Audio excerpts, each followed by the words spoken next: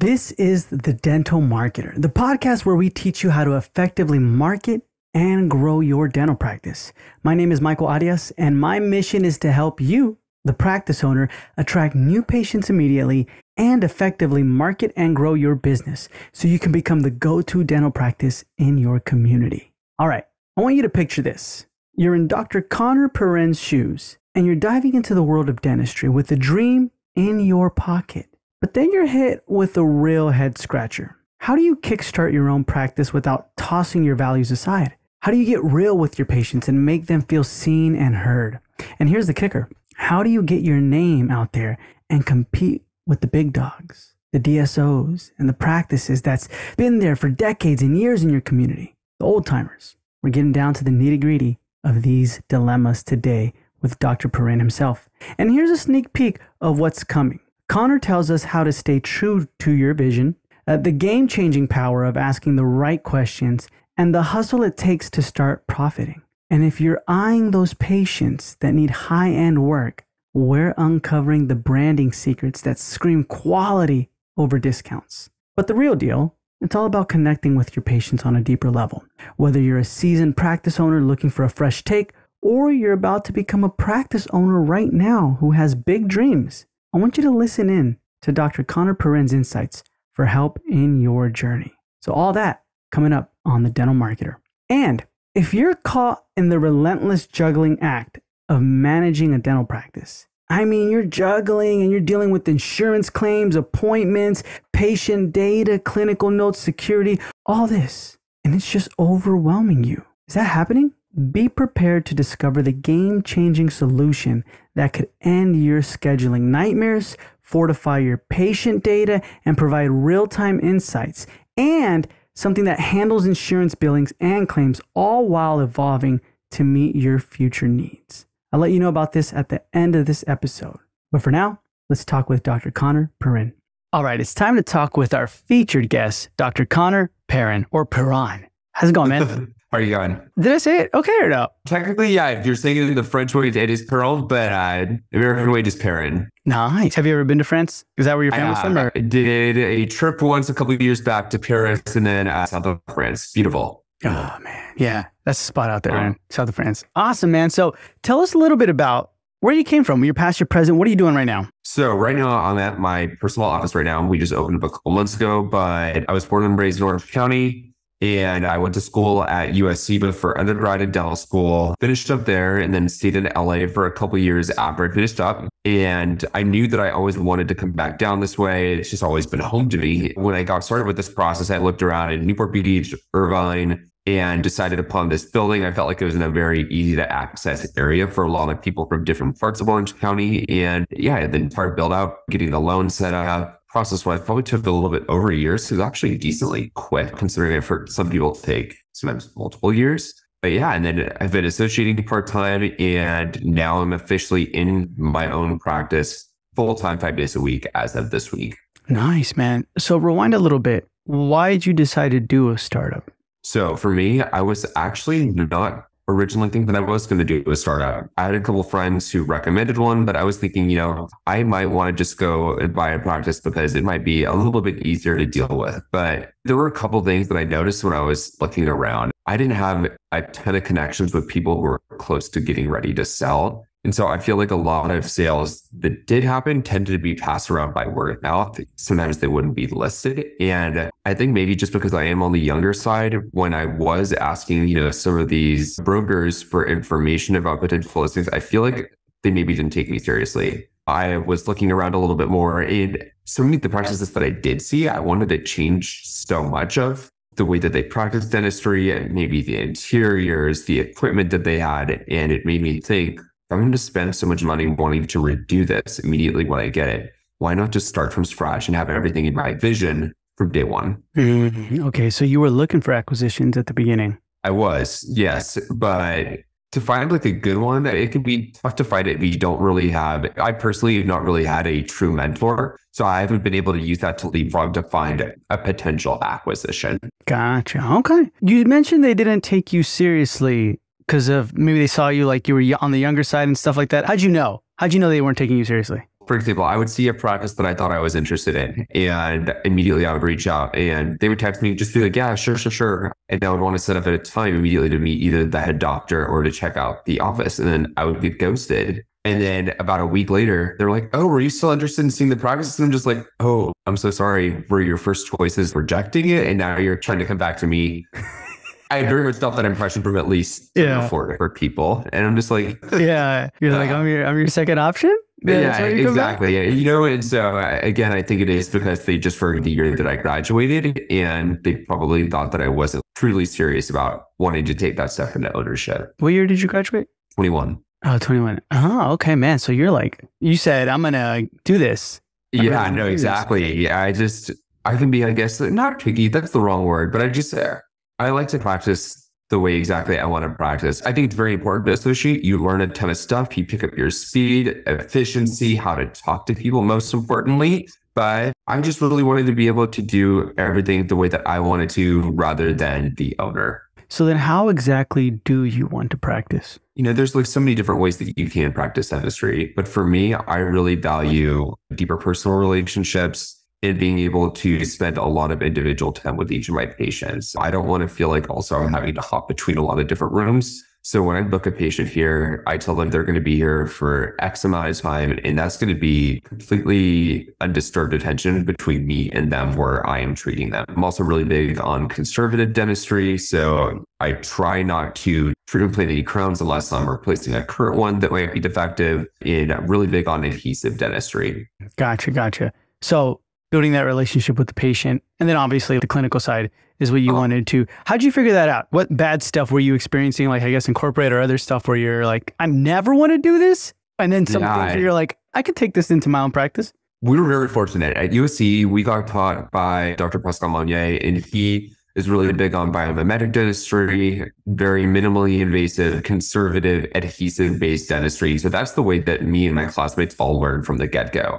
You took that for granted because then when you graduate, it's not like that at all in any offices. You're doing a lot of crown work. You're not really using a lot of the nice bonding materials that you're used to when we were at USC. And so when I hopped into my first position, I started to see a lot of things like more post-op sensitivity, maybe restorations not lasting as long as they should. And I also, I mean, everyone's very different, but I really don't like hopping around from chair to chair. It doesn't allow me to really be present with each person. And that's something when I was in that first position that I did not like. Gotcha. Okay. So that carried out, and you're like, I'm not gonna ever do that in my practice. What were some of the things you decided you you took away from other, you know what I mean, like associates? And you're like, I'm gonna do this. Definitely systems. For example, they would contact patients when it would come to confirming their appointments, different things that they wanted me, I guess, to say during an exam that would cause a patient to ask, prompt them to be more open ended rather than just giving me a yes or a no answer. So a lot of little things like that. And then also I've worked in offices that were more insurance based.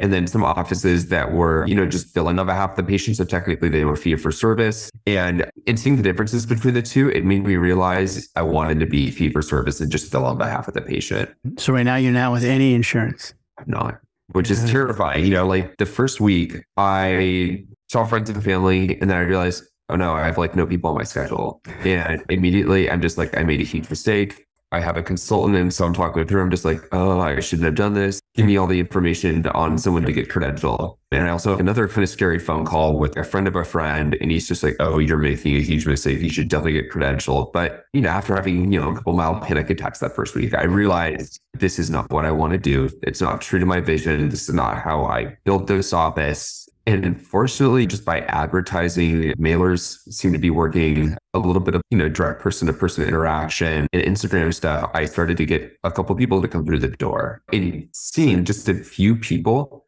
and having them pay out of pocket. You're still able to do just as well as you could be if you're seeing quite a few more patients and taking insurance, and you're able to practice the way you want to and spend individual attention with them. Again, different ways to practice, but I definitely realized stay true to the way you wanted to do and you're going to be happier that way. Yeah.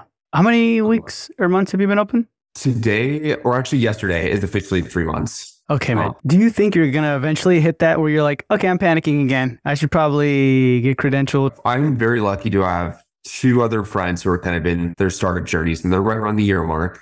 There's definitely ups and downs with months. July and August are really good. I feel like this month we're maybe not doing quite as well as those two months, but everything is slowly on an upward trend like that. And there's still not a day that goes by right now where I'm just like, hey, I took out this monster loan. Maybe I shouldn't have spent this much money to do all this stuff. I have a huge debt service at the end of the month, but it's natural. I was able to get my tenant improvement check from my landlord recently. And so that's able to help pay some of the bills right now until things stabilize a little bit more so. Okay, gotcha, man. I've talked with a lot of people who are like, yeah, I eventually had to get credentialed. And then eventually they try to phase it out. I don't know how Yes. easy it is to phase it out. You know what I mean? Because then they have to deal with, I'm losing half my patients type of deal. You know what I mean? Yeah. And the other thing is too, since you are a startup, I mean, realistically, rarely do they ask, are you a network? I think we've gotten only one of those type of phone calls. Usually they will ask, do you take insurance? And I mean, the answer still is technically yes. We are very happy to bill, but we explained that we still require upfront payment. They will get reimbursed by their insurance company via a check in around two to three weeks.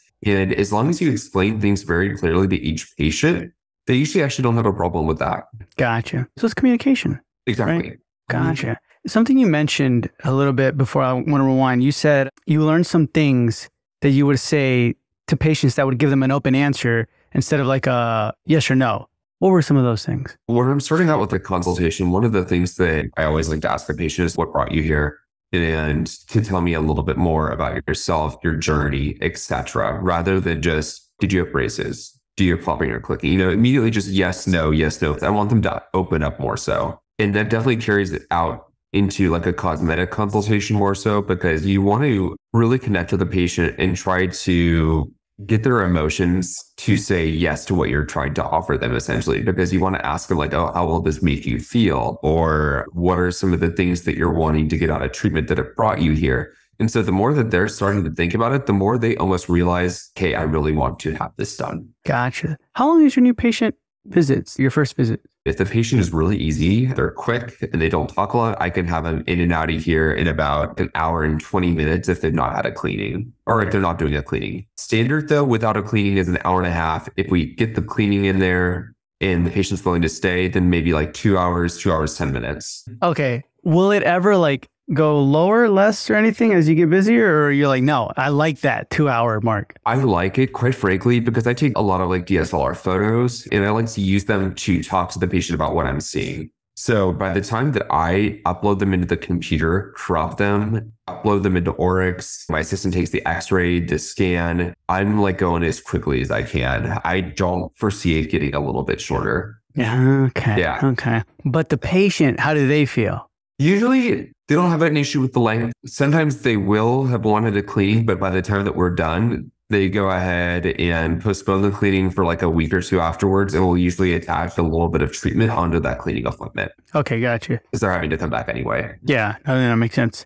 That's nice though, man. The, you know what I mean? Like you're doing all that, the work behind it. You know what I mean? To make Oh, sure. yeah. Thank you. And I, I feel like taking better photos with the patient, you know, intraoral and then also some portrait photography in case they do want to do aesthetic work or you're using it to communicate with Invisalign or a ceramist. I think the patient really sees the value in a lot of that. And again, when they see a very clear photo right in front of them, because we have a monitor right in front of our consultation room, it becomes a lot more real to them rather than you just mm. putting an instrument in there being like, oh, I feel like a stick right there. Yeah, that does feel a lot better. So then let's dive into a little bit about your build out process and your business here. First and foremost, who'd you go with for your loan? Bank of America. Why'd you pick them? Oddly enough, they were the first bank that I talked to. I was talking to another bank that I have a good relationship with, but they don't really do a lot of dental specific stuff. And so I wanted to go with one that had a dental specific component. I know Wells Fargo used to, I don't think they do currently, but then another good one is Provide. But I talked to Ali, great guy. He's in charge, I think, of all the startup dental loans with Bank of America. And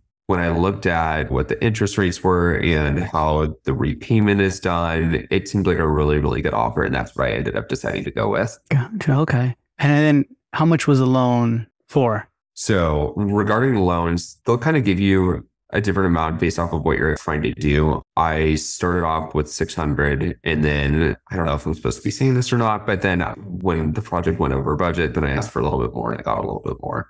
They're able to give you a little bit more? Yeah. How? Just later on when the project was close to completion, I'm just like, we need to up this a little bit. And, and they were very flexible with it. Yeah. So you went over budget pretty quick or not that quick? Reasonably quick. Yeah, I was going to say, especially post COVID, it seems like construction costs have gone through the roof. I was talking to my contractor about that. Mhm. Everything costs more. So that's why I feel like a lot of banks now, they usually have a hard cutoff, but then further on, if you need a little bit more, sometimes they will be generous. It'd be willing to give you a little bit extra. Gotcha. Okay. So then how much was your build out? It was like close to a million. Really? Yeah.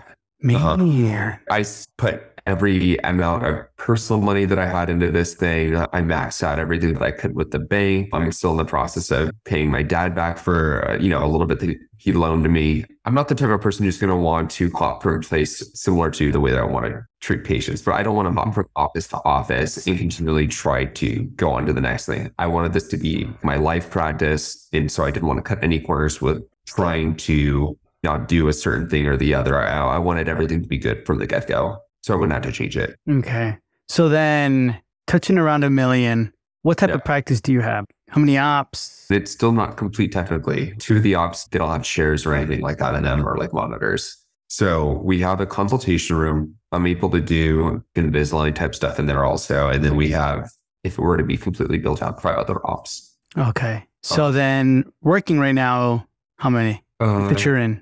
including the consultation room, it would be four. And then the type of practice you have, it's fee for service general, or are you, oh no, we want to just focus on families or only cosmetics or, fee for service general. And so like my overall goal is obviously this is going to be general practice. I want to have a lot of people just coming in for routine dental care. But I eventually want to get to the position where I'm just doing cosmetic cases and then I have maybe an associate working under me who's doing a lot of the other bread and butter type general dentistry. And then maybe like two hygienists. Mm-hmm. Because you're located where? I'm in Irvine. So I'm like close to the Irvine spectrum, about 15 minutes from Newport Beach, 10 minutes from Laguna Beach.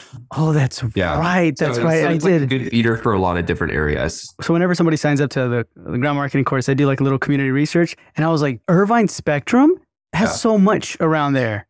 Yeah, the Irvine Company has built a ton of housing around here. I think they have something called the Great Park where they're putting in still a ton of other houses. And yeah, it's a good area to be in. So you guys got a lot. Yeah. Okay. So then do you ever plan to say like, well, you know, I have one here, maybe one in Manhattan Beach or one Uh-huh. like, you know what I mean? Would be nice. I think so. I haven't put a lot of thought into it or if it would be reasonably nearby or maybe if I would even consider putting it in like a different state too. But yeah, I think that would be something I would definitely want to revisit maybe eight or so years after this is fully developed. Because, you know, I heard it could take almost six to seven years for your startup to reach the full size of a normal operating office. Gotcha. Okay. So then this kind of, but technically isn't like the end goal, right? No, but I don't want to just sell this off or leave this office. I will always want to have this office, at least as part of a brand potentially. Yeah. Okay. Cool. Cool. And then how many employees do you have right now? So right now I have two. I have Katie. She's like our front desk concierge. She'll help patients out with insurance, checking them in, calling, scheduling, you name it. And then I have Jasmine. She's my assistant in the back. But one of the great things about Jasmine is she's also front office trained. And Katie had no dental experience. So the first couple of weeks when Katie was trying to learn stuff, she was able to pick Jasmine's brain and Jasmine was able to fill in kind of the gaps there Gotcha. How'd you find them? Not easy. I was going to say I looked around a lot and I happened to find both of them on Indeed, I want to say. But even a lot of people on Indeed, people who reach out to you and you'll go to schedule an interview with them, they look promising, and then all of a sudden they'll ghost you. I have a theory that a lot of it has to do with maybe them potentially wanting to collect unemployment. And so they want to show Mhm. proof that they've been looking for a job. But that's a different story. Uh, but I, I happen to find both of them on Indeed. Gotcha. Okay. How do you craft your ad on Indeed? What do you ask for? I wrote it completely myself. I think I put the philosophy of my practice and how I'm going to be different than your standard dental office there. One of the things I really pointed out was I'm not really hiring so much on skill. I'm really hiring on personality because I feel like skill can always be taught and it can be trained, but you cannot change a person's personality, obviously. One of the things that really struck out is they had really nice smiles. They were very personable, bubbly. And I'm just like, this is great. We can work with this. Nice, man. I like that. What is the philosophy of your practice? So my philosophy is one-on-one personalized attention and just elevating a person's overall experience when they come in here. I'm not trying to sell a patient anything. I'm just trying to provide what they need and also do it in as minimally invasive of a way as possible. Gotcha. So then you've been up and running for three months now. Yes. What's production and collections looking like? I was going to say, uh, I haven't looked at August's data quite yet, but I think June was the wash. I was also on vacation the last month of June. It couldn't have been worse timing. But I think in July, we did almost 40,000 in collection. Okay. And then your break even point is where? Not paying myself, and this is a scary number, it's around 26,000. Okay. Paying yourself, how much? If I'm giving myself not a great salary, bare bones, let's just say like in 30. Okay. No, no, Yeah, I I get because I can I can live with that. I haven't paid myself at all so far. I just know that it's going to be a little short term gain for long term gain. So I have to put it back to the business. Gotcha. And then how many days are you open? Now officially open five days a week, and we are open Monday through Thursdays from eight to four, and then Fridays from seven to three. Okay. Did you create those hours because you saw that there was a need for that time or?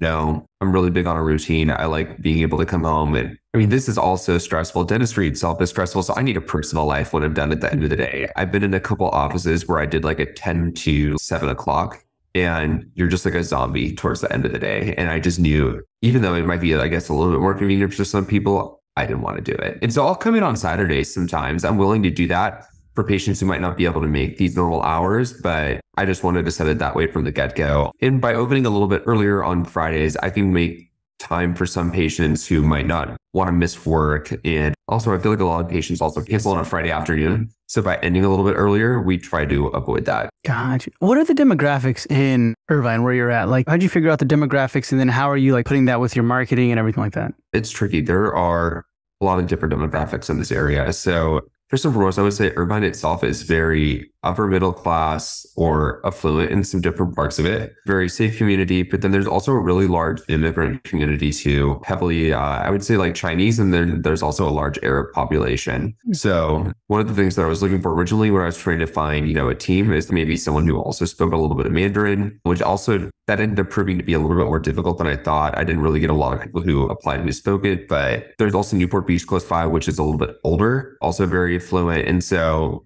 I guess when I'm running different ads, I'm trying to attract a lot of general patients from this immediate area, but then for more higher end cases, heavily focusing it on South County, Laguna Niguel, and then also Newport Beach too. What have you seen difficulty wise when it comes to working with those type of patients, like from Laguna, from Newport, or maybe marketing to them when they call and ask you questions? And I think we're like, oh, wait, how many years have you been practicing? Oh, you know what I mean? Or It's hard and I need to not let that get to me, but it's like a huge pet peeve of mine. I'll walk into a room sometimes and they'll be like, oh, how old are you? And I'm just like, I did just turn 30 this year. So I definitely am on the young side. I get it. But no, I was going to say that's probably the number one issue I have when I'm first meeting someone. Obviously, when I get to know them, it's not so much of a problem then. But yeah, how are you combating that? I learned this in being in my last practice also. You never want to get defensive because when a person says that, they're just testing you. They want to see what your reaction is. So if you get defensive, it shows that they're winning. You just have to laugh it off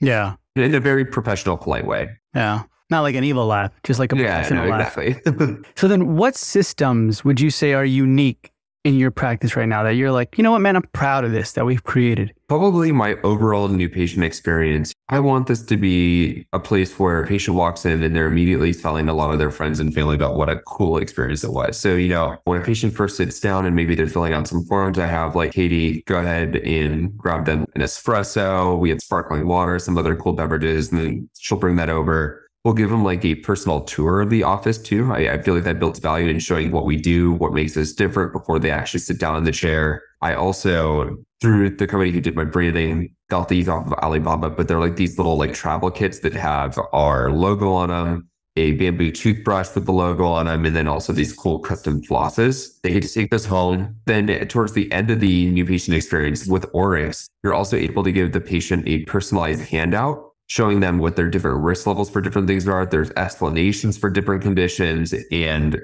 they really, really like that educational value. Gotcha. So how do you utilize Oryx then for your new patient visitation, right? You said? I utilize Oryx for everything. It's our practice software, but they have a lot of really cool features that a lot of other softwares out there don't have. And that's what attracts me to them. Were you deciding between Oryx and another uh, thing? Or? I was looking at Curve also. I was wanting something cloud based, you know, to where you could access it from anywhere. Not have to diss on a lot of other softwares out there, but I also, since I'm building like a brand new modern office, I don't want a software that looks like Microsoft 95. So I get you, man. I get you. So you felt like Oryx checked that part out, right? Uh, I mean, yeah, but that's to a service level. But I haven't taken any Kois courses yet. I'm taking my first one in May of next year.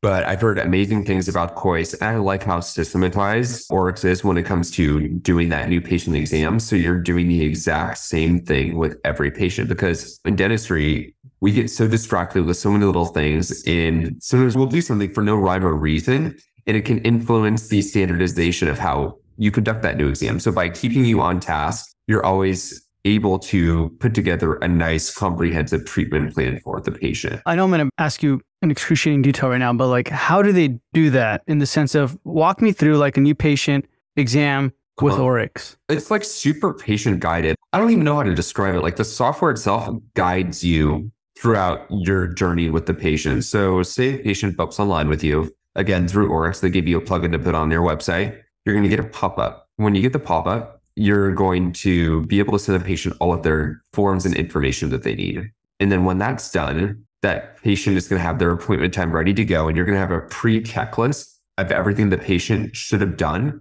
or will need to do before you bring them back. You know, you can easily see that in the corner there. You'll get them seated in the chair on their appointment day. And then Oryx has a section just for clinical. Mm-hmm. And so what happens there is you have your radiograph section, TMJ section, you have an oral cancer screening section, you have a tooth morphology section, you have your probing and perio section, and then something on the appearance of the patient's teeth. And so you follow each one of those steps throughout every exam. And then that way you're hitting every box that needs to happen. And sometimes by having conversations with the patient regarding aesthetics, the appearance of their teeth. They might talk themselves into doing something that they didn't originally plan on coming in for. Mm. And you present it that way or? So what I do is obviously I kind of discuss what I'm seeing, but I like to compartmentalize everything into four different sections. So I'll talk about the patient's overall smile. That's the first thing. I'll talk about the patient's gum and supporting bone. I'll talk about their bite. And then I'll also talk about the overall condition of each individual tooth. And I make my own PowerPoint presentation based off of the photos that I took and the findings that I'm seeing. And then we look at them together on a TV that I have in my consultation room. Gotcha, man. So Oryx kind of helps you out with all that. Very much so. Nice, man. Okay. So that's like just one little yeah, feature, right? I will say Oryx's forms are long. I've been told by a lot of patients, hey, this is taking me a long time. I'm just like, just fill it out, please but it really gets them thinking about different conditions that they're having. And I love how it allows me to ask open ended questions about what they've been experiencing, questions regarding food getting caught in between their teeth. By bringing that into the conversation so early, it makes talking about why they might need a new crown further on easier. Nice, man. By any yeah. chance, have you already reached 200 active patients or no? No, not there yet. I'd have to check. I want to say that we're like at maybe 60 to 70, something like that. Mm-hmm. Okay. Is it free for you right now or no? I need to double check. I have like a free period. I don't know if it's free currently, but I also have a couple friends who are going through the startup journey right now. So they put me as their referral. So I've gotten a couple free months. Okay, nice, nice. I know like right now they're doing that. It's free until you reach 200 active patients. So that's what I was wondering. Bring it up to them and be like, hey, man, Michael said it's free. But awesome, man. So then how many new patients are you getting monthly? It depends. I think last month we saw close to 20 new patients. And just because we are a little bit more of a cosmetically oriented office, I will get patients who come in here sometimes who are not looking to have me as a general dentist. They are only wanting to have maybe a little bit of veneer work done. They might also just want to do clear aligners with me. They're going to just stick at their other general dentist. And that's fine. Obviously, I ask them if they're looking for someone new. But even though it's around 20, sometimes that full number is not exactly patients who are going to be coming back consistently. Yeah, because if you look at your social media, right, it's nice. So it yeah. doesn't really look like a general practice. You know what I mean? To me, it kind of looks like uh, he's doing something elevated here. Well, thank you. And I mean, I will say, like, I was talking to my assistant, Jasmine, about this. I am going to try to at least just add a little bit more content showing things maybe aren't as stiff as they appear maybe on Instagram. I want to make myself a little bit more, I guess, like approachable and then also show more general dentistry type stuff rather than only cosmetic. I don't want people to get confused and think that I'm only doing veneers or bonding at this office. But Conor, let me ask you, would you want to just do that? Only do cosmetic work? Yeah, like in the end where you're like, that'd be the goal if I can just do that. Absolutely. Yeah. That's my completely my end goal. I'm young. I still have a, a large portfolio to develop before I am only seeing that kind of patient consistently. Yeah. It's different what you're doing. So it's attracting. I think when they get there, they're like, oh, you also do? You know what I mean? Yeah, yeah, exactly. That's my thought, but I don't know. It's up to you. I know right now, like you said, you're young and you want to build your portfolio. So what are you doing for marketing and advertising? a loaded question. Um, so I first started off, I found a company through a friend, and some of the things that they were suggesting, I just really didn't like at all. And I ended up firing before I even used them really at all. And then I found someone who did some freelance stuff and basically running a lot of digital ads. Talked vision with her, but the office opened and I realized that I was having to constantly remind her to do different things. She was also in charge of my social media at the time too. So I'm just like, why wasn't this posted? We talked about this or what happened to tagging these different accounts with this? And so I realized since I was basically having to double check and do everything else myself at that point, why am I keeping her? Mm-hmm. And on top of that, too, a lot of the search terms that she was using didn't make any sense at all. Mm-hmm. There were no exclusions for different things that were being done. For example, like I don't do full mouth implants in this office. I had a ton of people looking for cheap full mouth implants for seniors. So a lot of those terms should have been excluded from the get go. And then while I was doing that, you know, obviously I looked into some direct marketing, trying to contact like different apartments to put my information maybe in new resident flyers, that sort of a thing. But bringing it up to today, I worked with my cousin. He's a Jeff of trades guy. He helped me run some Google ads after I let that last freelance person go. Had a little bit of success with that. I've had a lot of success with direct mailers that my cousin and I did. But I also just brought in a new marketing company. They seem to be doing a good job so far. I really like their philosophy and different things that they suggested for me. And so we'll see how that works out. Got you, man. Okay. So direct mailers is it right now? I would have never thought that. I've had a lot of people say that they don't work at all, but I released my first round of them in early July, and I think I got at least 10 to 15 patients out of it. What'd you put on it? It was a picture of me, the office. We had a couple incentives on it, but I tried to use a slightly thicker paper when I was sending it out, and I just wanted it to have like a little bit of pop to it. So I hmm. made sure that the colors, everything that I did on it was very on brand. What was the incentives and then what were the colors? My brand colors are like a, it's almost like a navy blue, a gold, and a cream. Incorporated those, but then the incentives were a new patient special, a free veneer consultation, and then also a discount on the Invisalign. Thinking about it now, though, obviously I've already sent these first two rounds out.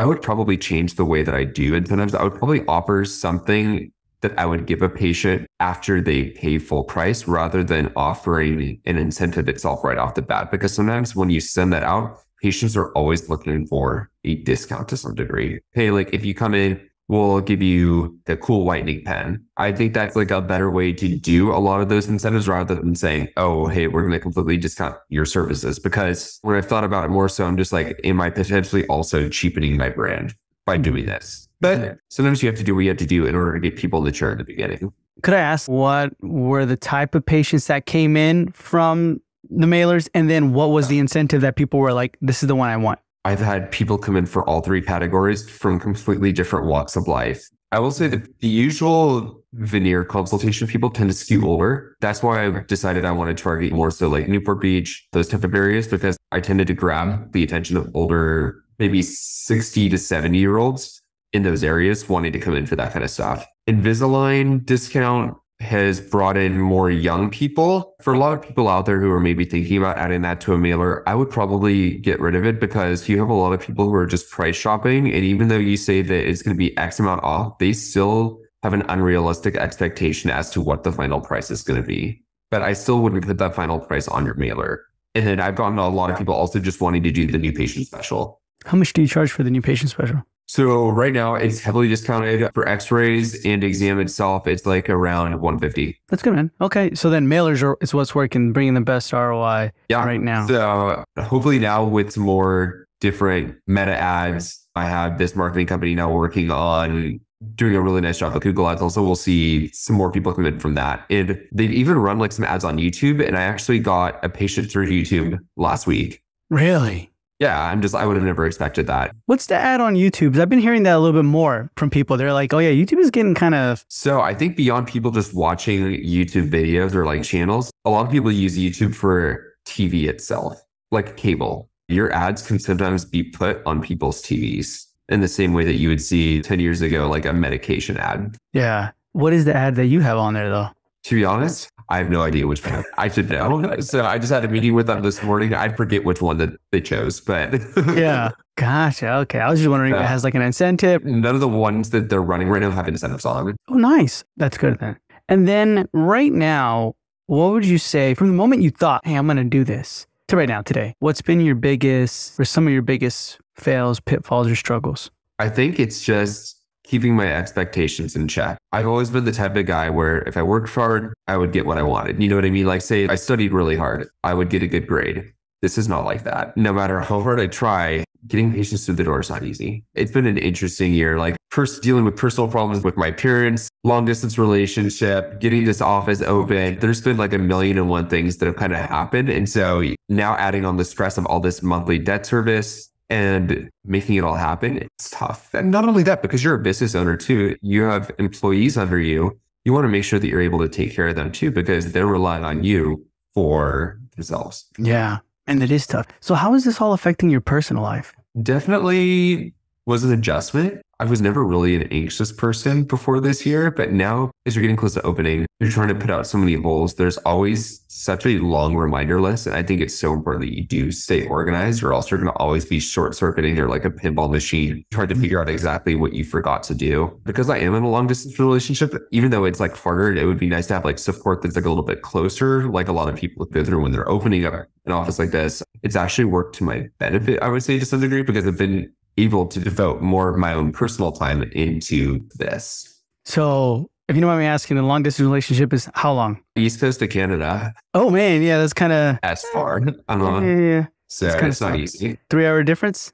Or Four? yeah, he's in Halifax, Nova Scotia. So So, then from that, right, the personal life, all this happening, how do you stay organized? one of the biggest things that I do is every week I have a project board that I work on with my team. And so we'll have the issue that we're having, what we're going to do about it, and then a regrouping date for when I want to have resolution for it, whether it's ordering a supply, making sure we have all the food ready to go for our open house. It just keeps everyone really accountable. And then for me personally, Apple Notes and the Apple Reminders app, I have a nice laundry list of everything organized by when I need to have a certain thing done. And I'm constantly looking at it and making sure that I'm just trying to take as many as I can when I get home each day. Uh-huh, it's like a to do list, like a checklist kind of thing. Exactly. A, a nice little to do list. Things are a little bit more stable now that I've been open three months. But if you don't have one of those when you're close to opening or right in your first month, I don't understand how you survive. Yeah, no, definitely. And you mentioned Yeah. you had two consultants, right? I have one consultant. I brought her aboard in May. Her name is Patty. She's been fantastic. And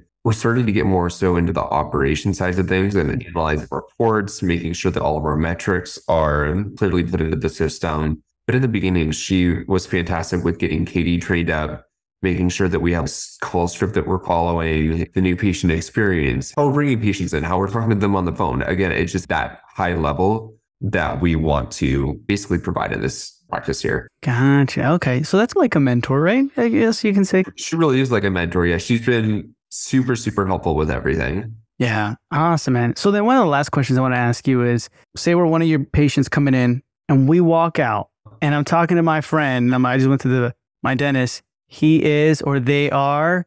What do you want them to start saying about you or your practice? I really want them to say that it was like no office that I've been to before. It was very comfortable. It didn't feel scary. And they really went above and beyond to make me feel special. I don't want a patient to feel like they're just a number in here or that, again, I'm like cornering them in a room, trying to get them to sign off on a CareCredit statement just to try to force them into treatment immediately. I want them to feel that they got educational value out of things and receive personalized care. Received personalized care. They didn't pressure me. Um, Anything Yeah. about like the style or anything like that or no? that's probably the first thing that a lot of people comment on when they come in here. Um, you know, we tried to make the interior of this place look like a hipster boutique New York hotel. Greg from Design Wise, my designer, he did a fantastic job with the artwork, furniture, flooring. And so obviously, yeah, I want a patient to be like, wow, this is like nothing I've ever seen. Yeah, it is. It's becoming like that, man. It looks nice. Thank you so much. Really like, yeah, yeah, yeah. Uh, Awesome, Conor. Awesome.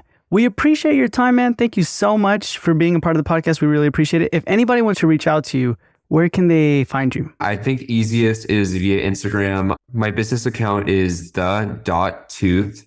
Just reach me there, and I'm usually pretty quick with getting back to uh, direct messages. Awesome. So that's going to be in the show notes below. And thank you for being with us. It's been a pleasure, and we'll hear from you soon. Michael, thank you so much.